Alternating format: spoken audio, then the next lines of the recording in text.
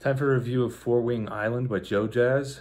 This guy's actually really talented. Running, Running, down it, down it, rotor, rotor.